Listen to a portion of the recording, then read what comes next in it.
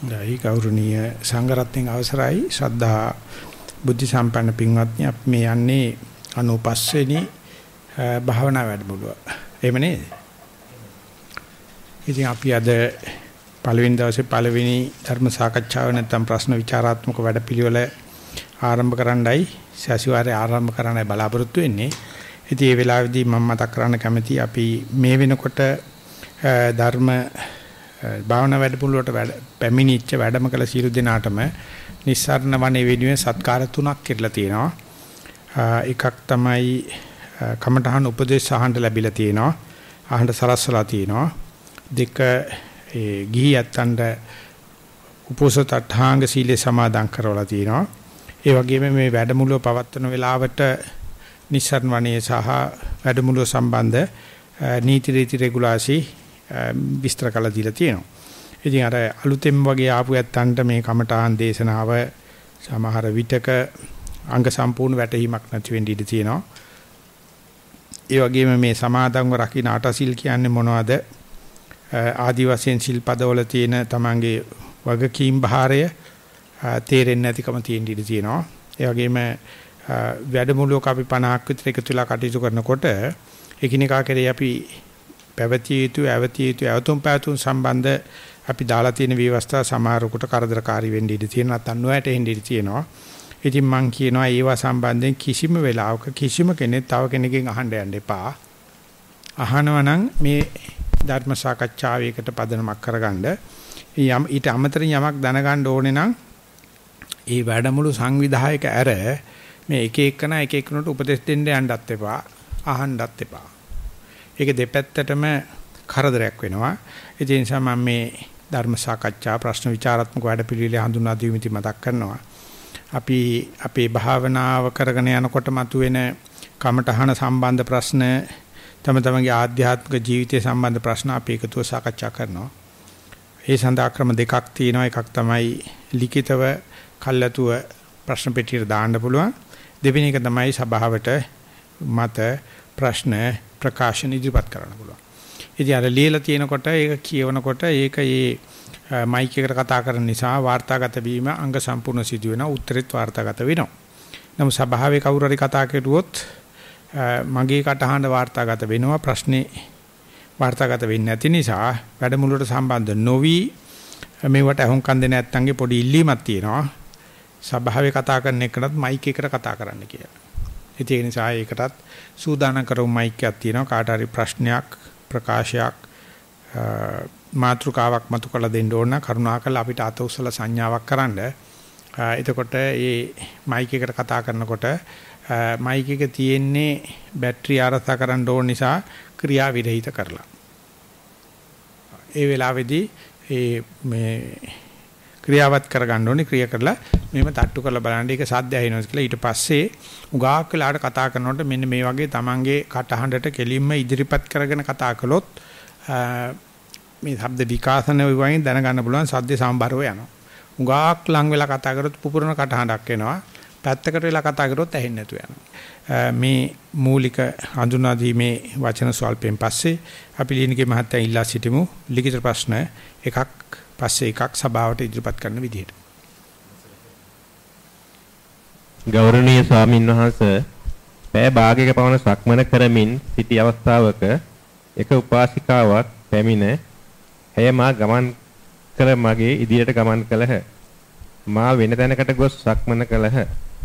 මා හොඳ අවධානයෙන් සක්මන කරමින් සිටි අවස්ථාවේ ඇය පැමිණ මගේ අවධාන සියල්ලම දුරු කළහ. මෙවැනි කරදර සිදු නොකරන මෙන් සියලු දෙනාටම අවවාද කරනසේක්වා. ගිය පාර වැඩමුළුවේදී මේකට ලස්සන අවස්ථා ප්‍රස්ථා දෙකක් ලැබුණා. එකක් තිබුණා හතරවෙනි දවසේ වෙනකොට එකෙනෙක් වාඩි වෙලා භාවනා කරද්දී උදේ දානේ වෙලාවේ තව කෙනෙක් ඇවිල්ලා පිටරට තියලා දැන් දාන වෙලාව හරි යන් කියලා කිව්වයි කියලා මේ වාගෙම චෝදනාවක් කරා මේවා මාර බලවේග. ඊටාම කලාතුරකින් අපි වෙලාවක් අරගෙන ඉන්නේ භාවනා මධ්‍යස්ථානට. ඒ ආපුවාම ඉතින් එක එක ආකාරයෙන් අපට නුරුස්නා දේවල් නරක දේවල් සිදු වෙනවා. එතකොට හිත නරක වෙනවායි කියනවා. ඉතින් එදා විස්තර කරනකොට මං කිව්වා මාර්යා ඉන්නේ ඉස්සරහින් ඇවිදින කෙනාගේවත් පිටේ අත තියෙන කෙනාගේවත් නෙවෙයි. ඒකට හිත නරක් වුණා නම් හිත නරක් වෙච්ච මනුස්සයාගේ හිතේ තමයි මාර්යා ඉන්නේ. ඒ නිසා හිත නරක් නොවෙන විදිහට කටයුතු කරනවා මිස අපිට ලෝකෙට නිවන් දක්වන්න බෑ. ලෝකය විනිගරු කරන්නත් බෑ. සරුවච්චන් වහන්සේ දේශනා කරනවා අහං නාගෝ සංගාමේ චාපාතෝ පටිසංසරං අතිවාක්‍යං තිතික්කිසං දුස්සීලෝයි බහුජනෝ කියලා. බුදු වුණාට පස්සේ සරුවච්චන් සඳහන් කරනවා යුද්ධට වන් ඇතකුසේ දුන්නෙන් විහිදියේන ඊතල මම ඉවසා දරාගෙන ඉන්නවා මේ දෙයියට හැපෙන වචන ඉවසනවායි කියලා. බුදුහාමුදුරන්ට කියන දෙහියට හැපෙන වචන ඒකට හේතුවක් දෙනවා බුදුහාමුදුරෝ බොහෝ දෙනා දුස්සීලයි. බොහෝ දෙනා දුස්සීලයි. ඉතින් බුදුරජාණන්සේකට කවදාකවත් සැලෙන්නේ නැති නිසා තමයි අපි බුදුහාමුදුරෝ කියන්නේ. ඒ මිනිස්සුන්ට මායя කියලා බුදුහාමුදුරෝ කියන්නේ.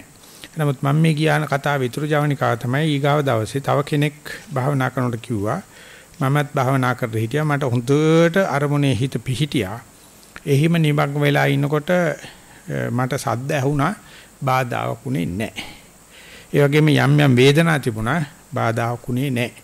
කවුද ඇවිල්ලා පිටට තට්ටු කරනවා වගේම දැනුණා මම බැලුවෙත් නැහැ බාධා උනේත් නැහැ. එතකොට ඒ බුදුනේ. එතකොට මාරය නැහැ. අර ඉස්සල පිටට තට්ටු කරපු එකනට එතකොටම කේන්ති ගියා චෝදනා කරා එතකොට මාරයා. මේක ගණන් ගන්න නැතුව දිගට භාවනා කරන එකට මාරෙක් නැහැ. ඉතින් ඒක නිසා මේ හැම වෙලාවෙදීම අපි තීරුම් අරගන්න ඕනේ මේ බම්බයක් පමණ පංචස්කන්ධය ඇතුළේ තමයි මේ තීරටම ප්‍රතික්‍රියා මේවට චෝදනා තියෙනවා තියනා තාක්කයි. වනපොගේ පෑදුවා වගේ අපිට හැම තැනම නුරුස්නා ගතියි. ඒවට ප්‍රතික්‍රියා නොකරන ඒවට ගැටුම් ඇති නොකර ගණ්ඩයි අපි කටයුතු කරන්නේ. එතකොට එහෙම කරන කෙනා විතරයි අපිට පෙන්ලා දෙන්නේ අපි ළඟ නුරුස්නා ගති තියෙනවායි කියලා. ඒ නිසා මේ එහෙම කරදර කරන එක්කනට කර්මස්ථානාචාරිවරය කියලා කියන්නේ කියලා තියෙනවා. එයා තමයි ඇත්තටම කමට අහන දෙන්නේ. උඹට පිටට තට්ටු කරුවත් කැඩෙන සතියක් තියෙන්නේ. ඉස්සරහා පාර කවුරු හරි ආවත් කැඩෙන සතියක් තියෙන්නේ. ඕකත් එක්ක නම් ගොයියෝ නිවන් දකින්න බෑ. ඊට පස්සේ මේ විදියට කවදා හරි මේක ධෛර්යයක් කරන භාවනා කරන දාසේ අනිත් දවසේ කවුරු හරි පාට හරස් කැපුවත් පිටට තට්ටු කරත් මට දැන් සතිය කැඩෙන්නේ නැහැ කියන දවසක් එනවා. ඒක මම සාහිතික කරලා කියන්නම්. අන්න එදාට තේරෙයි එදා පිටට තට්ටු කරනකොට කේන්ති ආවා අද පිටසත්තු කරන කේන්ති ආවේ නැහැ. එදා මං යන පාර හරස් කපනකොට මට නුරුස්නා ගතියක් ආවා. අද මට එහෙම ගියාට නුරුස්නා ගතියක් එන්නේ නැහැ. අනේ එදාට තේරෙනවා මගේ සතිය දැන් යම් මට්ටමකට ඇවිල්ලා.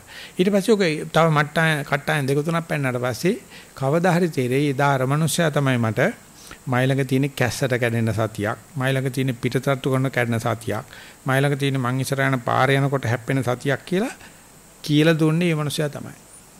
ඒ නිසා මේ භාවනා ගමනේදී අපි පුදුමාකාර ප්‍රතිශක්තියක් වැඩෙනවා. පුදුමාකාර පෞරුෂත්වයක් වැඩෙනවා. අන්නේ වර්ධනයේ වෙන්න තමයි අපි මේ යෝගාවචරයයි කියලා ප්‍රසිද්ධ ප්‍රකාශයක් කරන්නේ. නිසා මේ යෝගාවචරයක් මම ඒ නිසා මං යන පාරේ කවුරුත් ඉන්න එපා, කහින්න එපා, සද්ද කරන්න එපා, මම එනවා කියලා එහෙම කරන්න බුදුහාමුදුරන්වත් බෑ. ඒක නිසා හොඳට මතක තියාගන්න සංසාරේ කී සැරයක් අනුගේ මගට පාරට හරස් කපලා ඇද්දා අපි. ඒකයි මේ භාවනා මධ්‍යස්ථානට ආවත් පාරට හරස් කැපෙන්නේ.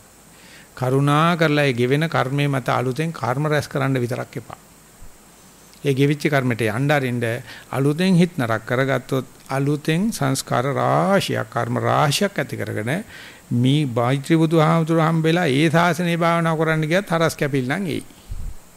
මේවා හේතුඵල ධර්ම මිස ඉස්සරහින්ගේ මිනිස්සයා කරපු වැඩක් නෙවෙයි.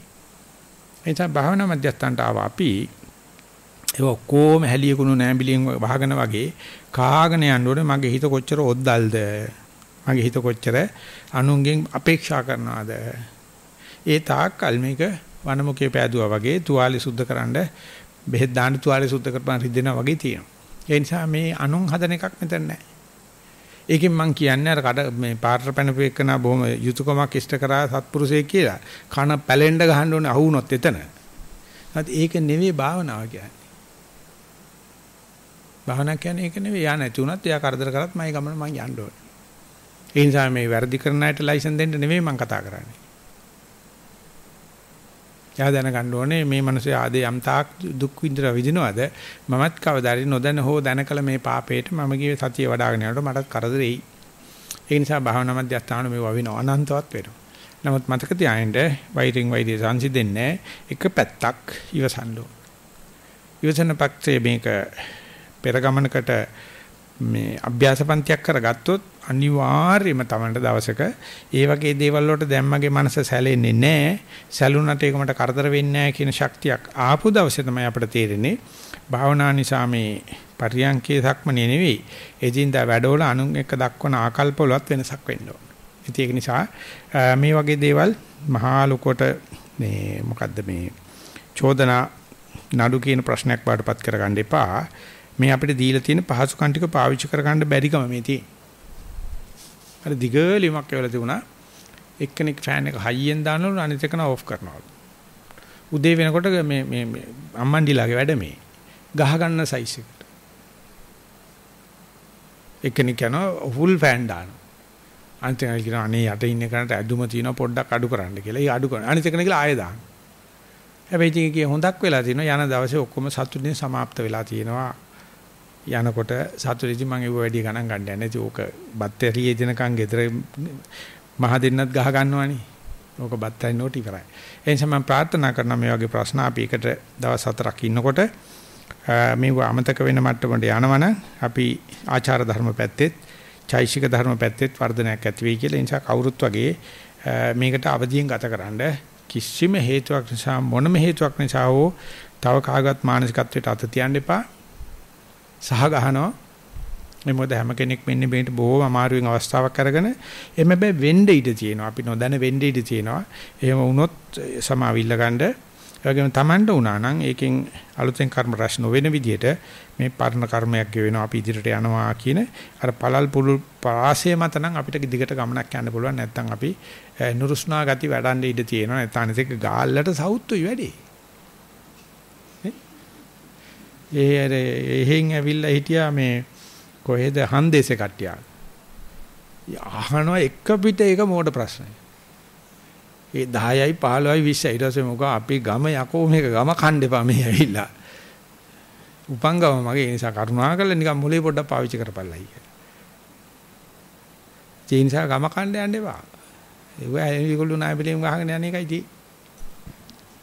ගෞරවනීය ස්වාමීන් වහන්සේ අවසරයි ඊයේ දිනේදී සක්මන් භාවනා කරන විට පියවර දෙක තුනකට වඩා හිත ඒකාග්‍ර කරගත නොහැකි විය. අද පියවර 10ක් 15ක් පමණ එකක සිටින් පියවර තබන විට සිත විසිරී යයි. සුළු වේලාවකින් සිත විසිරී ගිය බව මෙනෙහි වී සක්මන්ට යොමු කෙලෙමි. තවස්වන විට සිත පිට වී තිබෙන වේලාවට වඩා සක්මන්ට අවධානය යොමුන වරහන් ඇතුළේ පියවර තැබීම කෙරේ සිත යොමු වීම වේලාව වැඩි බව හැඟුණි. වරින් වර මෙසේ මාරු වෙමින් සිදුවේ. බොහෝ අපහසුවෙන් වාර දෙක තුනක් සක්මන ආරම්භයේ සිට අවසාන දක්වා පියවර කෙරේ අවධානයෙන් ගෙමි. එයින් පසු පර්යංකගත වූ විට හුස්ම රැල්ල දෙස අවධානය යොමු කර සිටින විට නොදැනීම නිද්‍රාවටපත් වේ. අපහැදිලි සිහිනද පෙනේ. නැවත සිත පිටත ගිය බව දනි දැනි ගැස්සී ආනාපානයට සිත යොමු වේ. සෑම සක්මන අවසන පරයන්කේදී මෙසේ සිදුවේ. නිද්‍රාවෙන් අපහැදිලි සිහින අතර සිත අතර මං සිත අතර මං වීම වළක්වා ගැනීමට කුමක් අනුගමනය කළ යුතුදයි පහදා දුන මැනවි. සුවපත් වේවා. මේක මේ වාක්‍ය දෙකක් තියෙනවා මම කැමති මේ ලියපු කෙනාට ඒක විශ්ල කරලා දෙන්න පුළුවන් නම් නැත්නම් සභාවට අදහස් ඉදිරිපත් කරන්න පුළුවන් නම් ඒක මම හිතනවා කාටත් වගේ සත්‍යයට ඇසරවන්නක් වෙයි කියලා. මොකද සක්මනේ ඉන්නකොට මගේ හිත පිට ගියා කියලා ලියලා තියෙනවා. අන්න මේ පිට ගිය වෙලාවේ Taman ඉඳගෙන නෙවෙයි ඉන්නේ, හිටගෙන නෙවෙයි ඉන්නේ, නිදාගෙන නෙවෙයි ඉන්නේ, සක්මන් කරමින් ඉන්න බවට අවදියක් තිබුණද නැද්ද කියන එක මට දැනගන්න කැමතියි. මේ හිත පිට ගිය වෙලාවෙත් මම ඇවිදින බව දැනමින්ද මේක හිත පිට ගියේ නැත්නම් මම ඉඳගෙන ඉන්නවත් දන්නෙත් නැහැ හිටගෙන ඉන්නවත් දන්නෙත් නැහැ නිදාගෙන ඉන්නවත් දන්නේ නැහැ කියලා සම්පූර්ණයෙන්ම ඉරියව්වටවත් හිත පවත්වා ගන්න බැරි විදිහට හිත පිට ගියාද කියන කාරණාව එලි කරනවා නම් හොඳයි. කැමැතිද ඒ සාකච්ඡාවට ඒ කරුණු ඉදිරිපත් කරන්න. එතකොට ඒක මට ගන්න පුළුවන් පරියංක භාවනාවෙත් ඒකම තමයි වෙලා තියෙන්නේ. අරකට කට උත්තරයක් දෙනවනම් මේ නඩුව ගන්නව නැත්නම් නඩුව විශ් කරලා අපි යනවා ඊගා ප්‍රශ්නෙට. ගෞරවනීය ස්වාමින් වහන්සේ අවසරයි මම කීප වතාවක් සහභාගී වී භාවනා කළයෙක්මි මම ආනාපාන දෙස බලා හිඳීමයි කරන්නේ. සක්මනේදී එන සමාධිය නිසා ගරුතර ස්වාමින්වහන්ස ආනාපාන සති භාවනාව කරගෙන යන විට ක්‍රමයෙන් හුස්ම තුනී වී එය නොදැනීයයි. ඇත්තටම හුස්ම නොවැටෙන වාසේ දැනේ. යලිත් තත්පර 30කින් පමණ පසු දැනෙන අතර පෙරසේම ආනාපාන සති වඩ아가න යමි. කීප වතාවක් දැනුණද මෙය පවතින කාලය ඊටා කෙටිය. මෙම හුස්ම නොදැනෙන අවස්ථාව මෙනෙහි කළ යුතුයද? එම අවස්ථාවේදී කුමක් කළ යුතුද යන්න කරුණාවෙන් පහදා දෙන මෙන් ඉල්ලා සිටිමි. මේකෙදී ඇත්තටම ආනාපානෙ ගත්තත් කොයි වගේ අරමුණක් ගත්තත් ආනාපානෙත් මම ගොඩක් වෙලාවට අපි මේකට සාකි වෙන්නේ. පටන් ගන්නකොට හොඳට මම මේ ඉන්නේ වෙන දෙයක නෙවෙයි ආනාපානෙ ඉන්නේ. මේ ආස්වාසි මේක ප්‍රස්වාසි නෙවෙයි. මේක ප්‍රස්වාසි මේක ආස්වාසි නෙවෙයි කියලා හොඳට කැන්දේ ගල බීරුව වගේ තේරෙනවයි කියලා කියන්නේ භාවනාවට හොඳ පසුබිම සකස් වෙනවා. අන්න ඒවන්ට මේ පරිච්ඡේද ඥානයක් සහිතව වෙන්කොට හඳුනා ගන්න ඥානකින් ආනපන දිහා බලන හිටියොත් ඒක සාමාන්‍යයෙන් වෙන්නේ එන්න එන්න දීර්ඝ හුස්ම කෙටි හුස්මක් බාටපත් වෙනවා කියලා සරුවචන් වහන්සේම දේශනා කළා තියෙනවා. දීගං වාස සන්තෝ දීගං අස්ස සාමීති පජානාති රස්සං වාස සන්තෝ රස්සං අස්ස සාමීති පජානාති කිය. ඒකෙදින් කලාතුරකින් තමයි යෝගාවචරි කොට ඒක ඇහැ ගැහෙන්නේ. ඒකම අරමුණක් දිහා බොහෝ වෙලා බලනකොට අරමුණ එන්න එන්න සංසිඳෙනවා. අන්න එහෙම වෙන්න පටන් අරගත්තට පස්සේ ඒකට අනුග්‍රහකරනද මේක තමයි හරි ක්‍රමය මේක තමයි ඉදිරියට යන්න ඕනේ මේක තමයි සතිය වැඩෙන ක්‍රමය මේක තමයි කෙලස් කැපෙන ක්‍රමය කියලා ඉතාමත්ම කලාතුරකින් තමයි කෙනෙකුට තේරෙන්නේ. උගවදෙනක කලකොල වෙනව නැත්නම් හයියෙන් හුස්ම ගන්න පටන් ගන්නවා එහෙම නැත්නම් හිත නින්දට වට ගන්නවා නැත්නම් සැක උපදවනවා. ඊට පස්සේ තමයි එන්නේ අතිසූක්ෂම අවස්ථාව. ගොරෝසු දේ සියුම් වෙලා සියුම් එක අතිසූක්ෂම වෙනවා. ඉතින් අතිසූක්ෂම බාටපත් වෙනකොට අර තිබුණු සැක අර තිබුණු කලකොල ගති තව වැඩි වෙනවා. ඒතියෙදිත් මේ භාවනාවේ දියුණුවක් මේක ප්‍රතිපදාවක් මේ අඩු වෙන්නේ කෙලෙස්ය කියන එක හොඳට තේරුම් ගත්තා නම් ඉතින් හොඳටම පැහැදිලි මේ ජීවිතේ හෝ පෙර ජීවිතේක හොඳට භාවනා කරපු කෙනෙක් බව. අපි ගිය පාට ඉස්සල සැරේ මේ ගාල්ලට රැස් වෙච්ච වෙලාවේදී මේකටමයි ධර්ම දේශනාව ගියේ. ඒක අහපු උඟ දෙනෙක් බොහොම ප්‍රශංසා කරා මේ පෙත අපිට පැහැදිලි වුණයි කියලා. දැන් මේ කියන යෝගාවචරත් ඒ කියන විතර ආනපන ශූම් වෙලා අතිශූම් තත්ත්වයට ගිහිලා තියෙනවා. ඒ තත්ත්වයට යනකම් ප්‍රශංසනීයයි.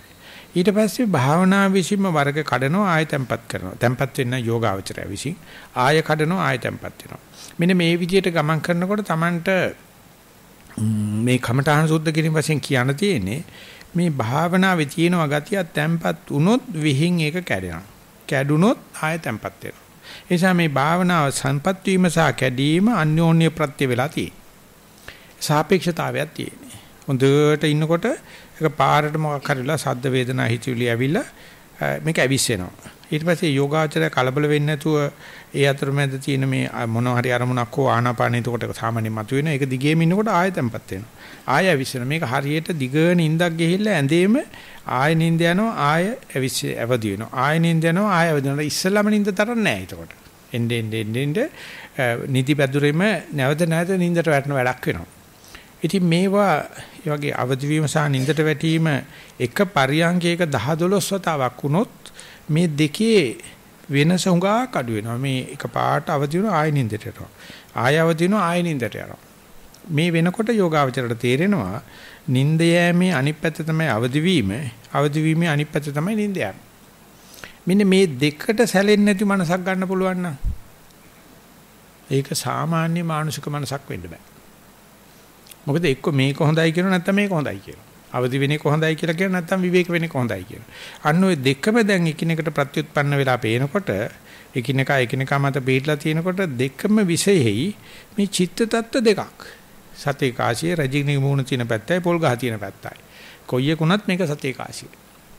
අන්න එතෙන්ට යන්ට එහෙම නැත්නම් එතෙන්ට අනුග්‍රහකරනද නැත්නම් එවැනි මානසිකත්වයක් හදා ගන්නවා කියන එක ඊටාත්ම අමාරුයි අපේ මේ තියෙන තර්ක මනසත් එක්ක.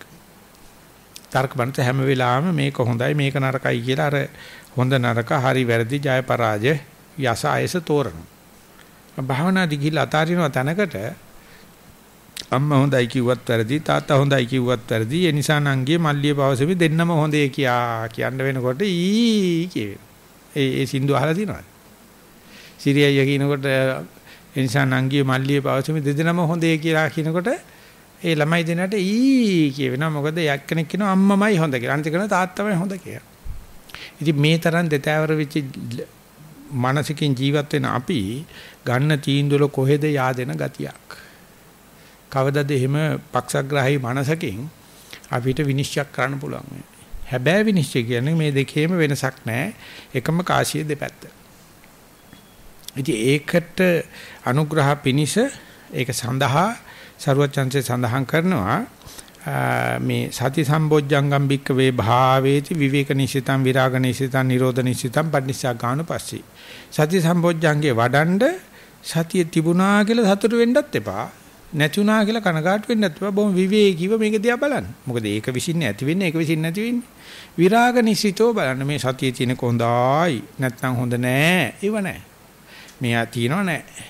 නිරෝධ නිසිතම් මේ සතිය තිබ්බත් ඒක නිරුද්ධ වෙලා යන සුළුයි. අසතිය තිබ්බත් නිරුද්ධ වෙලා යන සුළුයි කියලා මේ දෙක વિશે නිරුද්ධ වෙන පැත්තෙන් බැලුවොත් එහෙම නැත්නම් මේක વિશે පටිනිසක් ගානුපස්සී මේක අතාරින්න වෙන දෙයක් පැත්තෙන් බැලුවොත් මේක ආතතියක් ගන්න දෙයක් නැහැ. මේක පිළිබඳව අසහනයක් ගන්න දෙයක් නැහැ. මේ ධර්මතා වගේක් එහාට මෙහාට පෙරලෙනවා. එකක් අඳුනගත්තොත් අනිකට විරුද්ධ වෙනවා. අනික අඳුනගත්තොත් මේකට විරුද්ධ වෙනවා. පොල් පිට පාගනවා වගේ. මෙන්න මේ විදිහට පෙරලි තියෙද්දි දෙකින් එකටවත් ඡන්ද දෙන්නේ නැතුව දෙකේ එකටවත් කැමති වෙන්නේ නැතුව මේක ධර්මතාවයක් වශයෙන් යන්න පුරුදු වෙච්ච එකනට තේරෙන්න පටන් අර ගන්නවා මේ සියලු ධර්මතාවල අවසාන දේ තමයි මේ තතතාවේ නැත්නම් උපේක්ෂාවේ එහෙම නැත්නම් නොසල්නේ මනස එහෙම නැත්නම් මේ ස්වභාවික නීතියට ඉඩ දෙන එක. මේ ප්‍රශ්න අහන්නේ ඒකට කැමති නැති කෙනෙක්. හැබැයි පුංචි කෙනෙක් නෙවෙයි. එතනකම් භාවනා කරලා තියෙනවා. නමුත් මේ ස්වභාවිකයෙන් වෙන වෙන දෙයකට ඉඩ දෙන එක නෙවෙයි මම මොනව හරි කරන්න ඕන කියලා මෙතන සක්කාය දිට්ඨිය මතු කරන්න හදනවා. මාන්නේ මතු කරන්න හදනවා. තණ්හාව මතු කරන්න අරක තියෙන්න ඕනේ මේක එපා කිය. මේ දෙකේම සමබර භාවයක් නොසලෙන ගතියක් උපේක්ෂාවක් එනකොට තණ්හා කරන්න දෙයක් නැහැ. ඔය එකත් එකයි. ඉතින් මේක නම් මගේ කටෙන් මගේ වචනෙන් නම් ගොඩාක් වතාවක් කියලා තිනවා. මට තේරෙනවා මේක වටහා ගැනීම අමාරුයි. මොකද අපි ඉන්නේ මොකද්දෝ තර්ක මනසක. ඒක නිසා අපිට ඒක තේරෙන්නේ අපි දහම් පාසල ඉගෙන ගත්ත බුද්ධ ආගම නෙවෙයි. අභිධර්ම පොත්වල තියෙන බුද්ධ ආගම නෙවෙයි. නමුත් භාවනා කරනකොට භාවනා කරන කෙනාට විතරක් පෙන්වනවා මේ එකිනෙක එකිනෙකා මත පිහිටන ප්‍රත්‍යুৎපන්න භාවය මේක කොයි වෙලාවෙත් තියෙන දෙයක්. නමුත් අපි පිළිගන්න කැමති නැත්නම් අපිට ඒකේ ආනිසංස වාරය ලැබෙන්නේ නැහැ. අපිට ඒකට ආතතියක් එනවා. මම මොකද කරන්න ඕන කියලා කුකුසක් ඇති වෙනවා. ඉතින් මේකට එක තැනකදී සාරිපුත්තු ස්වාමීන් වහන්සේ මම මතක නැහැ අනුරුද්ධ ස්වාමීන් වහන්සේ සඳහන් කළා තියෙනවා. මෙච්චර ලස්සන භාවනාව යද්දී ප්‍රපංච නොකල යුතු තැන්වල ප්‍රපංච කිරීම නිසා භාවනාව අවුල් කරගෙන කියලා. ප්‍රශ්න නැසිය යුතු තැන ප්‍රශ්න අහන්න ගිහිල්ලා හිත දොඩමලු කරගෙන. Taman දන්නවනම් ඉස්සරහට යන්නේ ප්‍රතිපදාවේ ඉන්නේ කෙලස් කැපෙන්නේ කියලා එහෙමම බුදියා ගන්න කොටියට බුදියා ගන්න ඇරලා නිකන් ඉන්න එකයි කල යුත්තේ. ඉතින් ඒක තමයි කමඨාන් සුද්ධ කරනවායි කියලා කියන්නේ ගැඹුරෙන්. ඒක කිව්වට වටහා ගැනීමේ ශක්තිය අඩුයි. නැත්නම් ඒකට කේන්ති ගන්න යන නරකයි. දෙපාර්ශවෙම එකතු වෙලා බලන්න ඕනේ මේක චෝදනාවක් කරගන්න නැතුව නඩුවක් කරගන්න නැතුව එහෙම තැම්පත් වුණා නම් මනස මෙනේ කරත් එකයි නැතත් එකයි. තැම්පත් වුණත් එකයි ඇවිස්සුණත් එකයි. කවදාකවත් ඒ ඇවිස්සිල්ල දරන්න බැරි මට්ටමට ඇවිස්සෙන්නේ නැහැ. ඒක අටුවචාන් වහන්සලා පිළිගන්නවා. මොනවාදෝ තට්ටු මාරුවක් වෙනවා අතින් අතට මාරුවක් වෙනවා අන්න ඒක බොහෝකට වඩන්න බහුලීගත කරන්න බහුලීගත කරනකොට හැකිතාක් ස්වභාව ධර්මයට මේ යnderයි Taman කිසිම තීන්දුවක් ගන්න එපා අදිෂ්ඨානයක් කරන්න එපා චේතනාවක් පහල කරන්න එපා මේ ධර්මයට බාර දීලා යnderන එක තමයි පොදුවේ කියන තියෙන්නේ ඒකෝට දකින්න දේ තමයි මේ දෙක එහාට මෙහාට තට්ටු මාරු කර කර එන්නේ එන්නේ එන්නේ තැම්පත් වෙන්න පටන් ගන්න. ඒක තමයි මේකට දෙන්න තියෙන උත්තරේ. ගෞරවනීය ස්වාමින් වහන්සේ මම දැන් මෙතන මූල කර්මස්ථානයේ සිත පීඩන විට ආස්වාද ප්‍රස්වාස නිරීක්ෂණය කෙලෙමි. ආස්වාස ඊට ගොරෝසු භාග්ද ප්‍රස්වාස වාතයේ පහසු බවක්ද දැනේ. මෙසේ ටික වේලාවක් කරගෙන යාමේදී ආශ්වාස ප්‍රශ්වාසය නොදැනී යයි. නැවත මූල කර්මස්ථානයට පැමිණි විට මේ නැවත දැනේ. මෙසේ ආශ්වාසයේදී නැවත නහය කෙලවර සහ නල ප්‍රදේශයේ වේදනාවක් දැනේ. කයෙහි අනිත් තැන්වල වේදනාවක් නොදැනේ. කයට සැහැල්ලුවක් දැනේ. නමුත් නහය ප්‍රදේශයේ වේදනාව අපහසුය. මේ මගහරවා ගන්නේ කෙසේදයි පහදා දෙනමෙන් ඊතා ගෞරවයෙන් ඉල්ලා සිටිමි. ත්වන් සරණයි. මේකේ මේ කියලා තියෙන එක වැටහෙනවා නම් ඒ නාය ප්‍රදේශයේ වේදනාවක් නිසා අපි හිතුව නැගිට්ටයි කියලා. නැගිටින්න හිතනවත් එක්කම ওই වේදනාව ඉවර වෙනවා. නැගිටපු ගමන් ආය මතකවත් නැහැ. ඒ කියන්නේ මේ භාවනාව කඩන්ඩ එන මේ පුංචි පුංචි කෙනහිලි මේ කිඹුල කනව නෙවෙයි මේ කොහිල කටුව එනවා. අපි කියන්නේ කිඹුල කනවට ඉවසන්න පුළුවන් මේ කොහිල කටුව එනවනම් ඉවසන්න බෑ කියලා ළඟට. ඒකට හේතුව භාවනා යෝගාවචරගේ මනස හරි ප්‍රණීතයි දැන්. පුංචි දෙත් හොඳට ඇම්ප්ලිෆයි වෙලා ලොකු වෙලා පෙන්නන්නේ. එතකොට අර වෙනද ගානක්වත් දන්නේ නැති පුංචි වේදනාවක් අල්ලන විශාල නඩු. එක එක පැත්තකින් වීරියෙන් උත්තරයක් ගන්න පුළුවන්. එක පැත්තකින් සතියෙන් උත්තරයක් ගන්න පුළුවන්. එක පැත්තේ ඉවසීමේ ශක්තියෙන් උත්තරයක් ගන්න පුළුවන්. නැත්නම් හාස්‍යයට ලක් කරන්න පුළුවන්. හරි දැන් නහය කහනවා කියලා ඔබ නැගිටලා ඵලයන්. නැගිටින්න හදනකොටම ඔක්කොම ඉවරයි. එනිතර මාරේ කටයුත්ත වෙලානේ භාවනා නැගිටලා කඩලානේ. ඒ නිසා මතක තියාගන්න මේ මතුවෙන සෑම දෙයක්ම අපිට දැන ප්‍රීති පස්සද්දි ආලෝක සහ ඔය කියන වේදනා ඔය තින කම්මැලි සේරම නානා රුදු වේසමවා මග අවරන්නේ සංසාර ගමනේ තණ්හා ආසා ක්ලේශ මාර සේන. ඒ සතුටුුණයි කියලා දැඟලුවත් අරමුණෙන් හිත කඩනවා. කනගාටුණයි කියලා පශ්චාත්තාපුණත් අරමුණෙන් හිත කඩනවා. එච්චරයි මායයට ඕනේ. මේ නිසිනින්දී යන ගමන නානා ප්‍රකාර ඉතින් මේ පොත් කියවපු මිනිසයා මෙතන භක්කාලා අහුවෙන. පොත් කියව නැති නිකන් සාමාන්‍ය සද්ධාවන්ත උපාසකම්මා උපාසක මාත්‍යානංග දන්නවා. ඉතින් ඕිට වැඩි පරිප්පු කාලා තියෙනවනේ ජීවිතේ නායක අහන එක මොකද්ද මේ භාවනා කඩ ගන්න දෙයක් නැහැ නේ. ඉතින් යනවා. ඒ මිනිහක සංසාර දුක දාන්නවා. මෙයාට නායක අහන එක ලොකු දෙයක්. කියන්නේ හිත බලාපොරොත්තු වෙන්නේ භාවනාදී නායක අහන්න දෙනවා කිය. ඒ හිතනවා ඒක මොකද සීලේ කැඩිලා එහෙම නැත්නම් සතිය කැඩිලා එහෙම නැත්නම් මොකක් හරි පරණ කර්මයක් කියලා ඒකට ප්‍රතිකර්ම හදාන්න හදනවා. මේ වගේ දෙයක් කියවසන්න බැරි ශක්තියක් ඇත්තේ නැහැ. නමුත් වෙලා තියෙන ඒක අර කෙලස් නිසාත් හිතේ සියුම් භාවය නිසාත් නොඉවසිය හැකි තත්ත්වයක් තියෙනවා කියලා හිතෙනවා. මේකට මෙහෙම පහසු උත්තරයක් දෙන්න පුළුවන්. Taman දන්නවා මේ මේ කෙලෙසයක් ඇවිසිලා තියෙන නැත්නම් මගේ මේ සතියේ ඉන ක්ෂණ ක්ෂණ සම්පත්‍ය කඩන්න හදන්නේ. කමන්නේ මට දැන් ඉවසන්න බෑ. මෙහිමීට හොඳට සීහෙන් ආය කාණ්ඩ කහලා ආයෙ එතෙන් යන්න මොනවත් වෙලා නැහැ. අර තිබුණු තැනilla භාවනා කරගෙන යන්න පුළුවන්. සමහරකට විශේෂයෙන් කැස්සක් එන්න පටන් ගන්නවා. මොන්න විදිහෙන්වත් බෑ හරියාගෙන එනකොට කටට කෙලවුණා කහිනවා. ඒ වෙලාවට මොනවක්වත් කරන්න බෑ. හොඳ ලේන්සුවක් තියාගන්න හොඳට කට ඇරලා හයියෙන් කහින්න. අනුන්ට කරදරයක් වෙන්නේ නැති වෙන්න බහලා. කෙල ගිලින් තිනවා හොඳට සයිජ් කෙල ගිලින් ඉවරනාට පස්සේ ආයෙ භාවනාවට යන්න පුළුවන්. එහෙම නැත්නම් මේක නොකර මේකත් එක්ක උරුට්ටු වී ඉන්න තාක්කල් අනවශ්‍ය යුද්ධ ප්‍රකාශයක් අනවශ්‍ය නඩුවක් මෙතන තියෙන. ඒ නිසා හොඳට මතක තියාගන්න මේ මගේ කය මගේ හිත කියලා තිබුණට භාවනා කරගෙන යනකොට මේක අරියාදුවටමයි හිටින්නේ. කොයිම නිමිත්තක්වත් නැහැ හොඳයි කියලා જાතියක්. බුදුජානනාංශයේ දේශනා කරන්නේ සනිමිත්තා වික්කවේ uppajjati papaka kusala dhamma no animitta. තස්මින් යේව නිමිත්තේ පහීනේ තං අකුසලම් පජහති. මහනි පහළ වෙන තාක් කෙලෙස උපදින්නේ නිමිත්තක් ඇතුව. නිමිත්තක් නැතුව නෙවෙයි. ඒ නිසා මේ උපදින නිමිත්ත නැති කරපන් ඒතකොට කෙලෙස නැති වෙනවා. නිසා බුදුහාමුදුරුවෝ දැක්කත් නිමිත්තක්. දේවදත්ත දැක්කත් නිමිත්තක්. රත්තරන් දැක්කත් නිමිත්තක්. අසුචි දැක්කත් නිමිත්තක්. නායක ඇහුවත් නිමිත්තක්. කට කැහුවත් නිමිත්තක්. ඒ හැම දෙෙම එන්නේ මේ අර නිසිනින්දේ වැඩෙන භාවනාව කඩන්නයි. ඒක යෝගාචරය දැනගෙන මේ අනවශ්‍ය විදියට නඩු යුද්ධ ප්‍රකාශ කරන්නේ නැතුව ඒක ඕනේ නම් එහෙම කහලා යන්න භාවනාවට. එහෙම නැත්නම් නැගිටලා ගිහිල්ලා බලන්න නැගිටිනවා කියනකොට මොක ඉවරයි. ඒ කියන්නේ තන්නේ කර මනෝමූලික මනෝපුබ්බංග මනෝසෙට්ට දෙයක්. ඒක තීරුණාට පස්සේ තමයි යෝගාචර දෙන්නේ අපිට කයට එන හැම ලෙඩක්ම මානසිකයි. ඉස්සර හිතුවේ ඇදුම රෝගේ විතරයි මානසික රෝගයක් කියලා.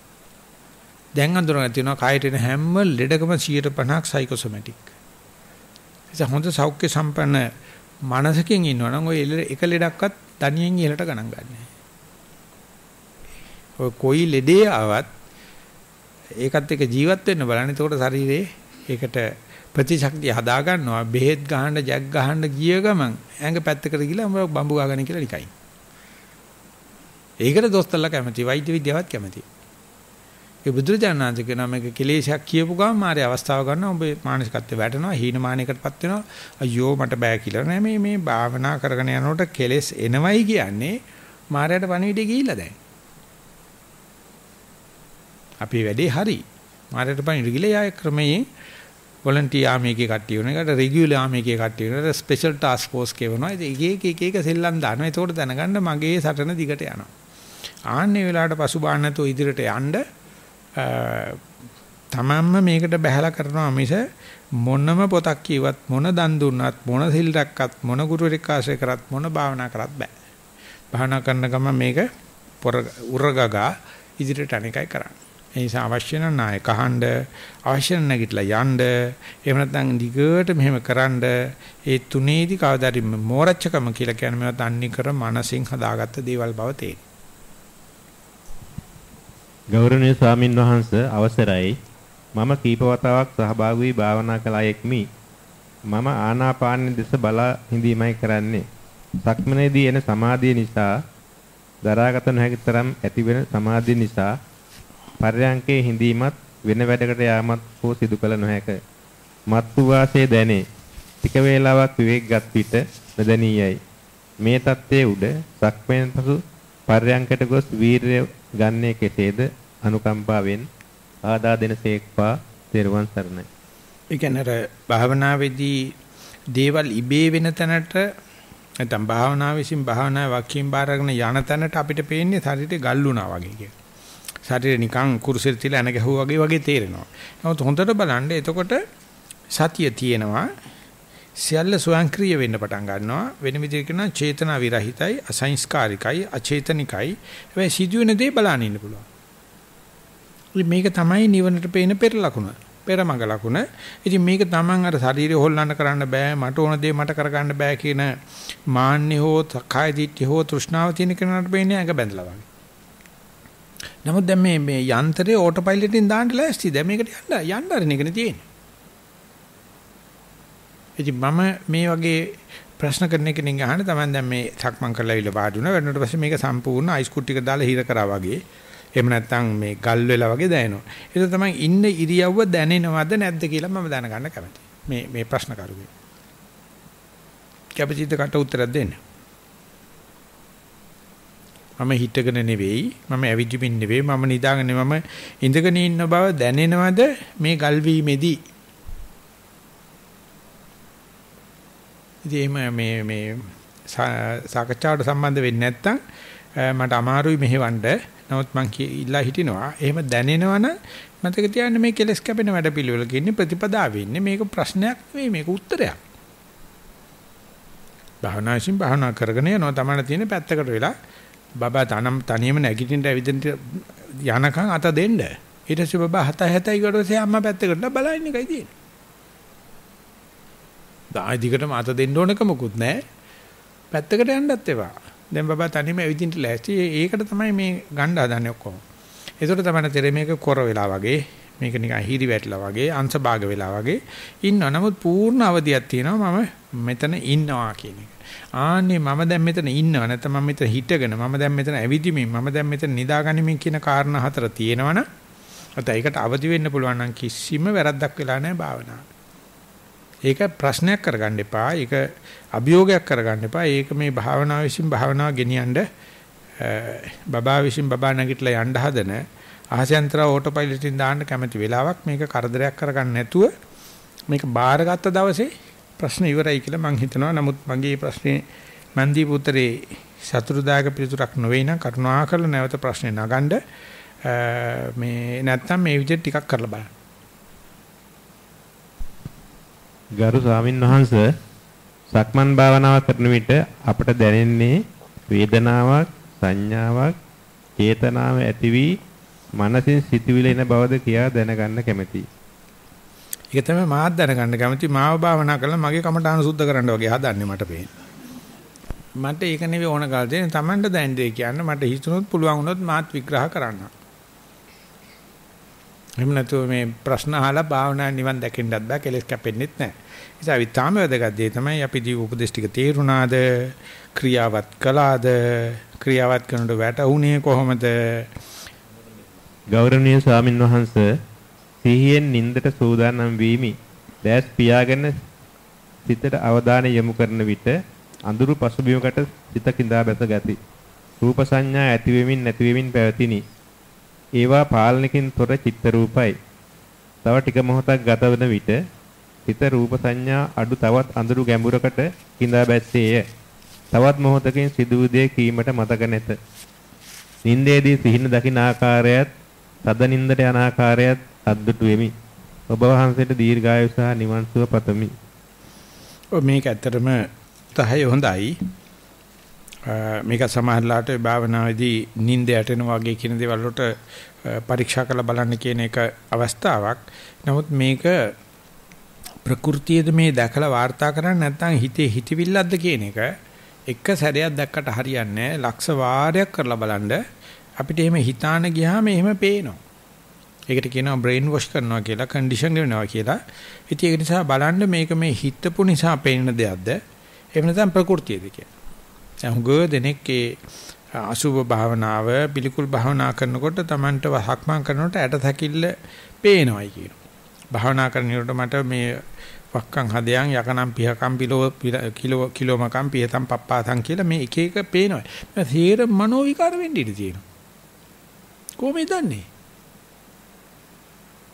ඒ විදිහටම තියෙනවා කියලා කොහොමද දන්නේ? ඉතින් ඒ නිසා අපි හිතාගෙන ගියොත් ඒක පේනවා. අපි සාමාන්‍යයෙන් කියන්නේ හිත ගිය රැද තන ආදර රජ මාලිගාව සෑදේ. ඒකට වෙන උත්තරයක්වත් නෑ. අභියෝග කරන්නත් බෑ. සරුවචන්සේ දෙන අනුපස්සනා කරන්න. ඒකම නැවත බලන්න. ඒ අනුව නැවත බලන්න. ඒ අනුව නැවත ඒකට බලද හැකි යමක් බලන්න හිතාන ගියොත් ඒ දේ පේනවා. ඒ නිසා කැඩෙන දීගේ හේවණල්ලත් ඇදට තමයි පේන්නේ. ඒ ඉතින් හේවණල්ල ඇදෙන්නේ නෙවෙයි දීගේ කැඩෙන්න තියෙන ලකුණක් විතරයි. ඒ නිසා මෙවැනි දේවල් වලට 100 පිළිගන්නත් එපා. ප්‍රතික්ෂේප කරන්නත් එපා මේක නැවත නැවත කරන්න කරනකොට මේ එදා කියපක ඇත්තද නැත්තද කියන එක Tamangeම දැනුමින් බලනවාට කියන්නේ ප්‍රත්‍යක්ෂණය කරනවායි කියලා. අපි කියන්නේ Taman ළඟ තියෙන කරාඹුව බඩු විකුණනකොට ඒ මනස කියනවා කැරට් 24 කියලා. නමුත් අවකතෙන් කාඩ කියලා උරගාලා බලනවානේ. මේ කැරට් ගන්න එච්චරමද කියලා. අනේ උරගා බලන කෘත්‍යයට කෘත්‍ය කියන ප්‍රත්‍යක්ෂණය. වෙරිෆයි කරනවායි කියලා. උරගා බැලීමක් කරනවා. අනේ උරගා බැලීමට කරන්න තියෙන්නේ මේක නෑ කියන්නත් එපා, ඔව් කියන්නත් එපා. බුළු බුළුවන් වෙලාවෙ නිින්ද යන වෙලාවෙ කරලා බලන්න. එතකොට අනිවාර්යයෙන්ම ওই රචනය ප්‍රතිසංශෝධනයට ලක් වෙනවා. අවසාන ඉදිරිපත් කිරීම ස්වාමීන් වහන්සේ උතුම් වූ ස්වාමින් වහන්සේ මම ඔබ වහන්සේගේ දේශනාවලට සවන් දෙමින් වසරකට වැඩි කාලයක් තිස්සේ භාවනා කරන අයෙක්මි. ගිය වසරේදී මෙම ආරණ්‍ය දෙකකට සංගීමට වාසනාවන්ත වූ වෙමි. ආනාපාන සති භාවනා යෙදීමේදී මුල් වසරට අසන කාලයක් මා හුස්ම රැල්ල සමග ගමන් කර එනම් නාස්පුඩු සිතට සිට කුස දක්වා ලෙස සිහිය පිහිටුවමින් භාවනා කොට ඇති බව දැන් තේරේ. විවිධ හැඩයක් හැඩයන් මතුවෙමින් කෙමෙන් හුස්ම රැල්ලේ ගෙවී යාම ඇතිවිය. එසේ පැයක පමණ බරයන්ක ගත කරගෙන ඇති අතර එහි අග්‍රම අවස්ථාවක් පසුගිය ඔක්තෝබර් මාසයේ මෙම ආරණ්‍යයේදී සහභාගී වූ වැඩසටහනදී අත්විඳ දෙමි. හුස්ම රැල්ල නොදැනී ගොස් ශබ්ද සිතුවිලි භාවදාවන් නොවි ගත කිරීමට හැකි අතර පරයන්කෙන් මිදීමටද කය ඉඩ නොදුන දෙයක් දැනුනි. ඒ සඳහා ඔබ වහන්සේද සුබවාදී පිළිතුරක් දුන් අතර නැවත නැවත එවන් අවස්ථා බලාපොරොත්තු නොවන ලෙසත් දිගටම කරගෙන යන ලෙසත් උපදෙස් දුනි. කෙසේ හෝ මෙම වසරේ මුල් කාලයේදී එක්වරම නැගුණු අදහසක් පරිදි ආනාපානසති භාවනාව වැඩිීමේදී කලින් කී ආකාරයට නොව පරිමුඛයේ නම් නාස්පුඩු හා උඩුතල අතර පෙදෙසට පමණක් සිහිය යොමු කිරීම වරහන් ඇතුලේ ඔබ වහන්සේගේ දේශනා ඇතුලින් තේරුම්ගෙන කෙලිමි. බුද්ධ දේශනාවත් ඒ වන නිසා ඒ ආකාරයෙන්ම දැන් භාවනා කරමි. ඒ තුල භාවනාව පැයකමාරක් දක්වා වර්ධනය වූ බවක් තේරේ. එසේම දැන් සිතුවිලි පෙරට වඩා වරින් වර ගලන බවක් හිතේ. හැඟෙන පරිදි භාවනාවේ අග්‍රවස්ථාවේදී ද සිතුවිලි බාධා කරන බව අත්දැක ඇත්තෙමි. දැනෙන පරිදි අර මා මුලින් කී විශේෂ අවස්ථාව අත්දැකීමට ලැබුණේ නැත්තරම්ය. නමුත් කිසිවක් බලාපොරොත්තු නොවි දිගටම භාවනාව යෙදෙන්නෙමි. මේ සිතුවිලි බාධා භාවනාව තුලදී අබ්බැහියක් ලෙස ස්ථිර වේදෝයි වරක සිටේ. වරින් වර යටිබඩ ප්‍රදේශයට විහිදෙන ප්‍රීතිය හටගනී. ඔබ වහන්සේගෙන් මේ අත්දැකීම් පිළිබඳ උපදෙසක් හතන අතර පජානාති සික්ඛති විහෙරති මෙයින් විස්තර වන කාරණාද ඔබ වහන්සේගෙන් දැන ගැනීමට කැමැත්තෙමි. මා මෙතෙක් කළා වූ සියලුම කුසල් ඔබ වහන්සේට අනුමෝදන් වේවා. උතුම් වූ නිර්වාණ ශක්තිය තුල ඔබ වහන්සේට දීර්ඝායු වේවා. උච්චර තාක්ෂණික ක්‍රමයට නෙවෙයි රචනය කරලා තියෙන සාමාන්‍ය సౌందర్యාත්මක රචනයක් වගේ මේට වැඩිය කමඨාන් සුද්ධ කරනකොට ඒක පරමාර්ථ ධර්ම වලට බරව කියන කාරණා ඍජුව කතා වෙන්න ඕනේ. නමුත් ඔක්කොම වැරදි නෙවෙයි. නමුත් මේක පැහැදිලිවම පේනවා පරිමුඛං සත්‍යං උපට්ඨපෙත්වා කියලා කියන්නේ නහයට නෙවෙයි උඩුතල නෙවෙයි කියලා කියන්න මම කරුණු දක්වලා තියේදී ඔබ වහන්සේ කියු පරිදි පරිමුඛං සතින් කියලා කියන්නේ නහය යටයි උඩුතල උඩයි කියලා ඒක සහතික කරලා ලියලා තියෙනවා. ඒක නිසා හොඳටම පේනවා වයර් මාරු වෙලා කියලා. මේකේ මම එහෙම අදහස් කරේ අපේ ඥානපෝනික ස්වාමීන් වහන්සේගේ Power of Mindfulness කියන පොතේ තියෙනවා පරිමුඛං සතියෙන් උපට්ඨපෙත්වා කියලා කියන්නේ උපරිමුඛං කියන අදහසක් දෙන්න හදනවා මේ නහය උඩය උඩුතල උඩේ කියලා. නමුත් සතිය කියන චෛතසිකයේ ඉස්සරහින් තියන භාවනා කරන්න කියන එකයි මේකේ කියන්නේ. සද්ධාව ඉස්සර කරන්න යන්න එපා. වීර්ය ඉස්සර කරන්න යන්න එපා. සමාධිය ඉස්සර කරන්න යන්න එපා. ප්‍රඥාව ඉස්සර කරන්න යන්න එපා. සතිය ඉස්සර කරන්න කියන එකයි තියෙන්නේ. වෙනත මේ මුඛ කියන මූණටයි මේ මේ කටටයි ඒ අදහස ගන්න එපයි කියලා. නිසා මම මේක උත්සාහ කරා ඒක සිංහට දාලා කියන්න. ඒත් ඒක සම්පූර්ණයෙන් පටලවාගෙන තියෙනවා. සම්පූර්ණ වැරදි හරගන්න කියලා තියෙන නෑ නෑ ආනාපානේ තියෙනකොට පරිමුඛම් කියලා කියන්නේ එහෙනම් පිම්බීම හැකිලිමකට බලනකොට කොහෙද පරිමුඛම් වෙන්නේ? ලක්මන් කරනකොට කොහෙද පරිමුඛම් වෙන්නේ? ඒත් සතිය වැඩෙනවා නම් සතිය පෙරමුණේ තියාගන්න මේ ශ්‍රද්ධාව, විරිය, සමාධි, ප්‍රඥා පෙරමුණේ තබා ගැනීම තමයි ආගම උගන්වන්නේ. ධර්මයේ කියන ඔය හතරම විශ්වාස කරන්න වැඩි යාළුවෝ හතර දෙනෙක්. දුවට සද්ධාවෙන් වැඩ කරලා හරි ගිය වෙලාවල් තිබුණාට අනිත් දවසේ සද්ධාව නැති වෙන්න පුළුවන් වැඩේ වරදින්න පුළුවන්. නමුත් සතිය කවදාකවත් ඒ වැඩේ කරන්නේ සතිය විශ්වාස කරන එක නම් කවදාවත් පාවා දෙන්නේ නැහැ. ඒ නිසා වැඩක් කරනකොට ආගම ජීවිතයක් ගත කරනකොට ධර්ම ජීවිතයක් ගත කරනකොට එදිනදා වැඩ කරනකොට සතිය පෙරමුණේ තියාගන්න කියන එකයි මේකේ කියන්න කියන එකයි මට කියන්න උනේ. ඉතින් ඒ වගේ කරුණු පැටලිලා තියෙන නිසාත් ඒ වගේම මම එදා කියනකොට කියලා තියෙනවා මෙවැනි අවස්ථාවල් ඊට පස්සේ අපේක්ෂා කරන්න එපා කියලා. එහෙම නෙවෙයි මම අදහස් කරන්නේ. මම අපේක්ෂා කරාට මේක ලැබෙන්නේ නැහැ. කරගෙන කරන යනකොට ලැබෙනවා නම් ලැබෙයි. එහෙම නැතු ඒක නොවේවා පතන් එම වෙන්නේ නැහැ කියන අදහසක් නෙවෙයි කියන්නේ. අන්න ඒ වගේ කරුණු වලින් මට වැටහෙන්නේ මේ එක සැරයක් කියවපු දේ 100%ක්ම බාර අරගෙන ඒක නැවත සැරයක් බලලත් නැහැ. ඒක අභියෝග කරලත් නැහැ. විමසුන් නුවන්ට ලක් කරලත් නැහැ. එතකොට රචනීය ගැමි රචනයක් වෙනවා. තාක්ෂණික නැහැ. ඒ නිසා මේ කියන එක නෑ භාවනා ඉස්සරට යන්න හදන ගතිය පේනවා. නමුත් කරුණාකරලා අර කමඨාන් සුද්ධ කිරීමේ වார்த்தාව කියවන්න. මේ වார்த்தාව නේ කමඨාන් සුද්ධ කිරීම පිළිබඳ දීලා තියෙන තොරතුරු. ඒක ලියවලා මෑතකදී කරපු හොඳ එක පරියන්කක විස්තර විතරක් කියන්න. එතකොට ඒකෙන් සම්පූර්ණ හරස්කඩ පේනවා.